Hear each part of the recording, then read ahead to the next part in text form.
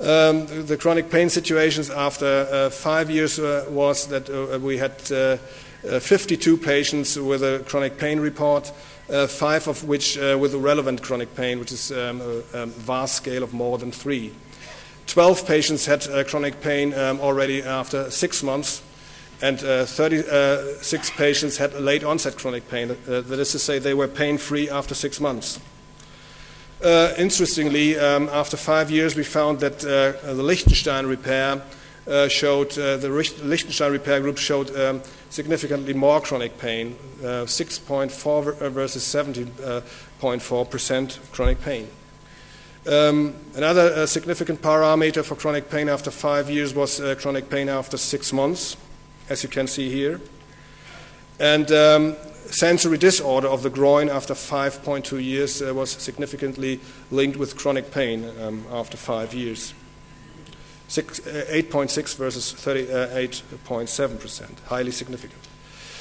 Then, uh, interestingly, um, uh, patients uh, with a neurolysis of the ilioinguinal nerve showed a, a significant um, uh, link to chronic pain. I have to explain to you that starting um, our experience from the Shouldice repair, where we did a mobilization, a neurolysis, which means mobilization of the nerve and preserving the nerves, mobilizing it from the cremasteric muscle uh, in order to um, keep it away out of the operating field because uh, we had uh, to cut the, crema- the, cremasteric muscle at the level of the inner ring um, uh, for producing a, a, a, smaller internal ring in the Shouldice repair.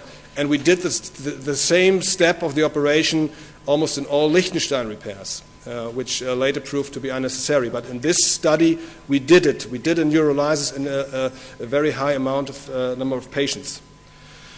So the neurolysis of the ilioinguinal nerve um, and the Lichtenstein group uh, showed uh, significantly more chronic pain.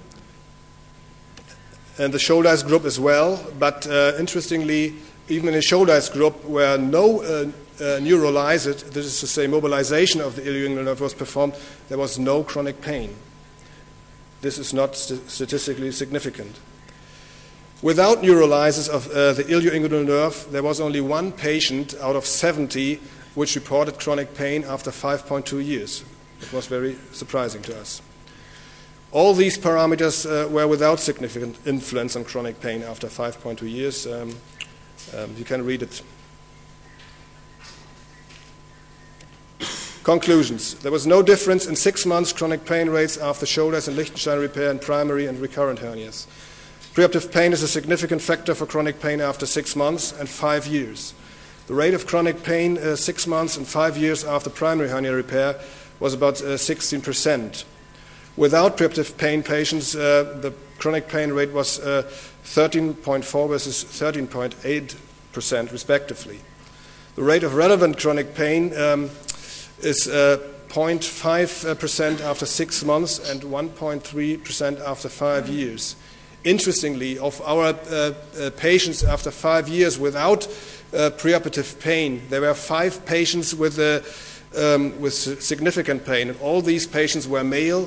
They had a neurolysis of the, neuro, neuro, of the ilioinguinal nerve and the Lichtenstein repair. The only independent significant factor for chronic pain after six months was sensory disorder of the groin. And um, there was uh, late onset chronic pain in um, 69% of the five year chronic pain patients. And the, only, the independent significant parameters for chronic pain after 5.2 years are chronic pain after six uh, months, sensory disorder of the groin, and the neurolysis of the ilioinguinal nerve. The Lichtenstein repair was not an independent uh, uh, factor for chronic pain. This is very important to, to, to remember. The combination of, uh, of uh, ilioinguinal nerve neurolysis and open mesh repair is significantly related to chronic pain after five years and should be avoided. And uh, the involvement of chronic inflammatory reaction to mesh, especially heavyweight mesh, which we used in our study, might be a risk factor for, for chronic pain. Further studies are here um, important and uh, their recommendations for nerve management and groin hernia repair, according uh, to the literature and especially to the recommendations uh, which uh, Parviz Amid has published. The cremasteric fascia and uh, cremasteric muscle should be left intact. No removal of the nerves from their natural embedding and no traction on the nerves. um, try to ident- identify the nerves and respect the nerve anatomy, especially in intramuscular segment or the iliohypogastric nerve. The external ring should not be sutured too tight, and uh, careful use of tacks and staples in uh, laparoscopic hernia repair, and the neurectomy with proximal end ligation and implementation according to AMID in case of nerve damage or unlucky nerve anatomy. Thank you very much for your kind uh, uh, invitation. I would like to invite you all to uh, our second International Hernia Symposium in Hamburg, Wilhelmsburg, which will be held the 5th and 6th September of this year in the Hotel Hafen Hamburg in Hamburg. Thank you very much. Uh, mille grazie.